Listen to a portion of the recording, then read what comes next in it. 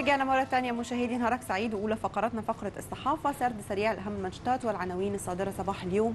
هيعلق عليها ضيفنا الموجود معنا النهارده في الاستوديو الأستاذ هاني النحاس وهو نائب ونائب مدير تحرير روزا اليوسف. صباح الخير يا فندم. صباح الخير يا إزيك يا أستاذ هاني؟ تمام الحمد لله ربنا الدنيا لله. فاضية مش نص نص. واضح ال- البلد لسه في عيد يعني أنا وأنا آه. جاي حتى في الطريق على الكورنيش آه، لسه الشوارع فاضية وي وي. أتمنى يعني دي تكون سيولة مرورية. أتمنى إن يكون ده انضباط مروري أكتر من الناس لسه مصدقة إن إحنا لسه في عيد أتمنى إن نشوف القاهرة آه، كده بالشكل ده. آه أتمنى آه طبعا. يا. ريت. بس أعتقد كمان هو إيه، عشان الناس مسافرة وعلشان ما فيش مدارس ولا جامعات فهو ده برضه اللي محقق يعني السيولة المرورية اللي إحنا شايفينها النهارده. أنا أعتقد آه. يعني يا رب ما تحلمش قوي.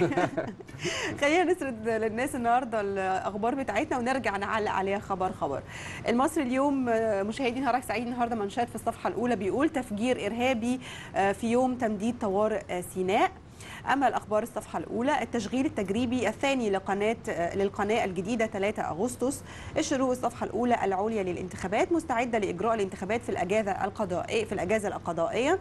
الأهرام الصفحة الأولى الحكومة تنتفض لضبط منظومة النقل النهري.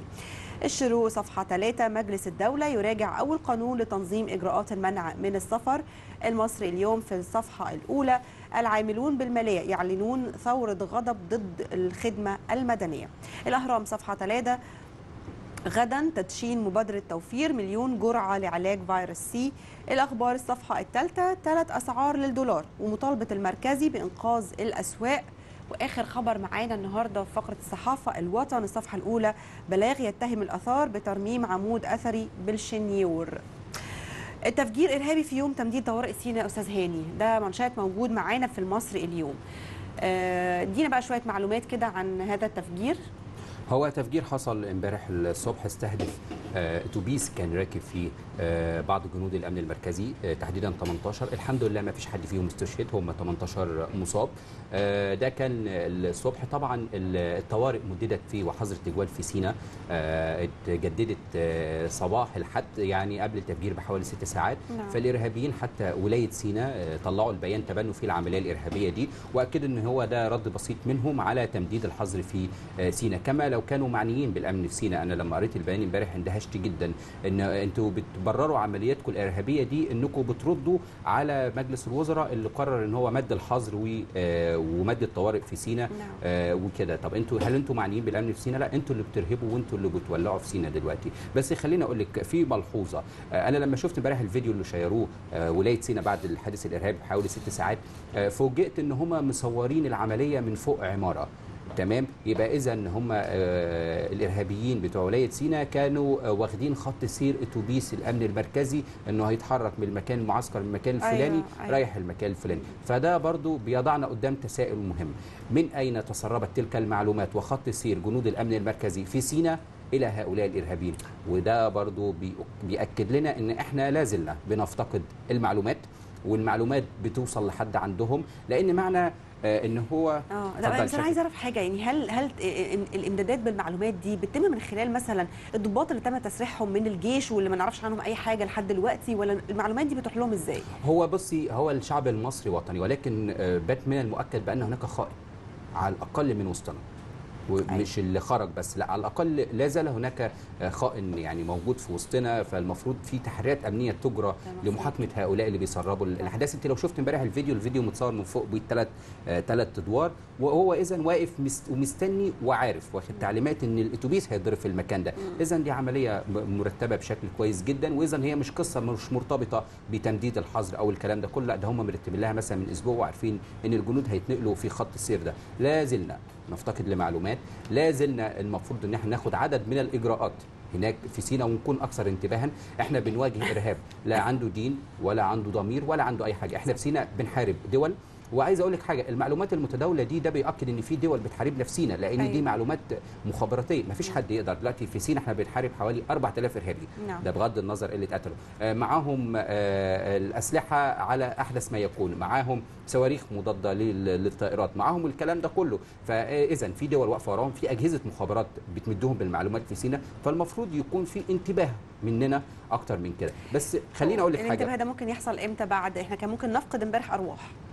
لا والحمد لله إن إحنا ما فقدناش. الحمد لله بس كان ممكن نفقدها. يعني فده معناه انه إحنا مستنيين نفقد كام روح أو كام عملية كمان إرهابية علشان نبدأ نضبط الأداء يعني. محتاجين يا سارة محتاجين انتباه أكتر من كده من سينا ومحتاجين التحريات تشتغل. بس أنا خليني أقول لك. في الآخر الجيش رد امبارح عليهم باصطياد 18 إرهابي. إذا كنتوا أنتوا ما قدرتوش تقتلوا 18 مجند وأصبتوهم بس فإحنا قتلنا منكم 18 إرهابي. وخليني أقول لك برضو حاجة هفكر الارهابيين تاني برسالة الحجاج بن يوسف الثقافية. قال اتقي في المصريين أرضهم وإلا حاربتك صخور جبالهم واتقي فيهم دينهم وإلا آه، أحرقوا عليك دنياك. الرسالة دي موجهة للإرهابيين. وفي الآخر هننتصر في سينا. بس واضح عايز أ- أ- أذكر لك حاجة سريعا بعد. استهداف الأكمنة يوم. استهداف الأكمنة آه طلع طيار مصري مقاتل بجد وطني بجد آه بالرغم إن الإرهابيين كانوا سيطروا على جزء ما وقطعوا الإمدادات عن المكان ده وسيطروا عليه بقى موجود حوالي 300 إرهابي في المكان ده الطيار ده طلع بطيارته الأباتشي وكان عارف إن هو هيستشهد بلا محالة لأن هو الأرض تحتيه بقت أرض معادية. الإرهابيين هم اللي مسيطرين عليها خد الأوامر وطلع وكان شايف قدامه وطن بيحاول إرهابيين إن هم يهزوه أو يهنوه كان شايف قدامه زمايله الشهداء اللي, اللي ماتوا. الطيار ده طلع وهو عارف إن هو حياته في خطر ونسبة استهدافه 90% بالمعدات اللي مع الإرهابيين والصواريخ اللي هي بتستهدف الطائرات. وطلع وما خافش وموت الإرهابيين. هو ده اللي موت 100 إرهابي على الأرض. بالرغم إن هم كانوا عاملين له كمين. هم عارفين إن هم لما يوجهوا الضربة دي ففي الآخر إحنا الجيش هيتحرك ويطلع طيارة أباتشي لاستهدافهم. كانوا جاهزين للحظة دي. بمجرد ما الطيار طلع انطلقت عليه اتضربت على طيارته العشرات. من الصواريخ بس ده لأنه كان مقاتل مصري أنا بحقيقة ما أعرفش اسمه أو ده. كبيرة جدا ويمكرون والله خير الماكرين. الحمد لله. الأخبار التشغيل التجريبي للق... الثاني للقناة الجديدة يوم 3 أغسطس يعني خلاص على الأبواب. يا مسهل. يعني طبعا ال- ال- ال- الفرحة كبيرة جدا. ان طبعاً. إحنا بنشوف الحلم بيتحقق بعد مم. سنة زي ما وعد الرئيس عبد الفتاح السيسي. هنشوف تشغيل تجريبي زي ما ذكرت يوم 3 أغسطس وهنشوف افتتاح رسمي بيحضروا ملوك وأمراء ورؤساء وقادة العالم حوالي هيكون موجود 50 زعيم من حول العالم ووفود رسميه الحلم بدأنا نشوفه على أرض الواقع. الرئيس كان قال سنة والحمد لله سنة. كان آه، اما محطوط لها أعتقد فترة زمنية ثلاث سنين. ما هو لما قال هم الأول قالوا خمسة. آه. طب خلينا ثلاث فالرئيس قال له أنا هستلمها. بعد سنة. فالحمد لله إحنا أنجزنا وده بيبعت رسالة إن المصريين لما بي بيريدوا آه، طبعا هم بيحققوا ده. بس خلينا أقول لك حاجة برضو. إحنا إن شاء الله ال- الافتتاح الرسمي يوم 6 أغسطس. إن شاء الله. آه، خلينا نقول إن آه، إن شاء الله المشروع قناة السويس هيبقى ناجح ولكن المشروع لم يكتمل إلا باستكماله واللي هو بمشروع محور تنمية قناة السويس. نعم. آه، فعلشان لو المصريين إحنا عندنا بنرتفع بأحلامنا قوي زي اللي حصل بعد المؤتمر الاقتصادي آه، يا جماعة دي مشروعات بتبقى كبيرة. دي مشروعاتها نفسها طويل. اللي بيفتح سوبر ماركت ما بيكسبش إلا بعد 3 4 شهور. صحيح. ما بالك بقى أيوة. ده مشروع قناة السويس. آه، إحنا عملنا القناة الحمد لله تمام. هيبدأ السفن تعدي فيها رسميا من يوم 6 أغسطس هنبدأ فعلا هيكون في عوائد ولكن بالشكل اللي مش منتظره المصريين الحلم هيكتمل بجد لما ننتهي من مشروع محور تنمية قناة السويس الكبير هننشئ فنادق هناك وهنعمل مركز. لصيانة السفن مم. والتموين والكلام ده صحيح. كله فإحنا هنشوف الحلم الكبير لأننا إحنا كمصريين بنبقى متفائلين زيادة عن اللزوم ومحتاجين إن إحنا نحط خارطة طريق لأحلامنا ودي مش مسؤوليتنا أكتر منها مسؤولية المسؤولين. المفروض حد من المسؤولين يطلع يقول لنا يا جماعة يخطط لنا. يخطط لنا ويحكي عن حلمنا اللي إحنا صحيح. شايفينه. آه. عشان الناس دلوقتي كلها معتقدة إن يوم الخميس آه، 6 أغسطس هيفتتح القناة. يوم الجمعة 7 أغسطس البلد دي هتنعنش ويعملوا مشروعات أحلى ما في موضوع قناة السويس إن تم آه، آه، يعني آه، آه، تحديد موعد. وفي الموعد فعلا خلصت خلص المشروع. فبرضو لو اتحط مواعيد تخطيط حياتنا الف- الفترة القادمة وفعلا تمت في نفس في نفس الميعاد أعتقد ده يعني هو ده اللي ممكن يصبرنا على إن إحنا ممكن نستنى ونصمد أمام الفترة الصعبة اللي إحنا بنعيشها ده دلوقتي. مهم جدا على فكرة وده مهم نسمعه دلوقتي مم. إن إن شاء الله هنشوف عوائد قناة السويس المشروع الناجح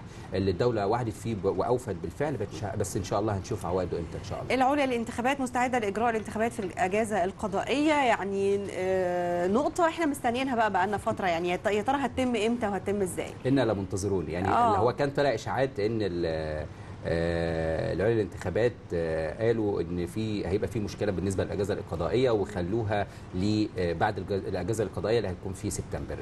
طلعت نفت وقالوا لا إحنا جاهزين الأجازة القضائية اللي بتبدأ في مايو وتنتهي في سبتمبر إحنا جاهزين لإجراء الانتخابات. فأنا أعتقد إن دلوقتي في توجه ما لإجراء الانتخابات البرلمانية. في شهر بنتكلم في سبتمبر مثلا في بنتكلم في شهر أكتوبر. يعني أعتقد يعني نهاية أكتوبر بداية بس هي. فين الأحزاب يعني هو مش مش مش باينين على السطح خالص مش يعني. مسؤولية ده مش مسؤولية الدولة لا، أكيد مش للأسف مسؤولية الشديد الدولة. للأسف الشديد إحنا عندنا الأحزاب حتى الأحزاب اللي طلعت بعد 25 يناير للأسف الشديد أحزاب هشة آه، حتى الأحزاب القديمة زي أحزاب حزب زي حزب الوفد في مشاكل دلوقتي حوالين آه، جوه سياسة الدكتور سيد بدوي والكلام ده كله فالأحزاب سواء الأحزاب القديمة مش موجودة في الشارع حتى الأحزاب الجديدة أو الأحزاب الثورية اللي مش موجودة فأعتقد إن هيكون ال- ال- ال- المستقلين هم اللي بينافسوا بعضهم أنا بس مش عايزين الأحزاب ذات المرجعية الدينية هي اللي تبدأ تشتغل وتشتغل على أرض الواقع وتنزل وتروح وت- وتوصل للفقراء زي ما بيعملوا كل مرة. وتبقى الأحزاب الثانية قاعدة متكاسلة وما بت- ما بتنزلش والله بص يا سارة أنا هقول لك حاجة بصراحة. يعني إذا ما كانش الشعب ده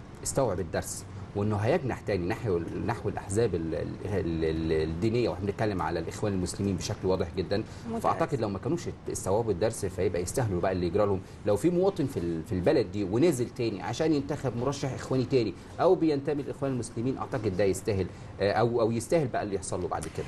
الأهرام الحكومة تنتفض ضبط منظومة النقل النهري تبعا بعد المشكلة الكبيرة اللي حصلت الفترة اللي فاتت. ويعني اصفر أصفر عنها دلوقتي إيه؟ آه، 30 تل- 33 قتيل أعتقد آه، غريق آه، ده 34 بنتكلم في 34 وفي 8 انتشلوهم وفي شوية لسه مش لاقيينهم في قاع النيل. والحكومة بتنتفض وللأسف الشديد قراراتها الحكومة تنتفض لضبط منظومة النقل النهري. قرار- قرارات الحكومة اللي خدتها امبارح للأسف الشديد معظمها قديمة. إحنا في مصر مش محتاجين قرارات جديدة. آه، يعني هم مثلا قالوا ممنوع سير الصنادل ليلا. القرار ده قديم.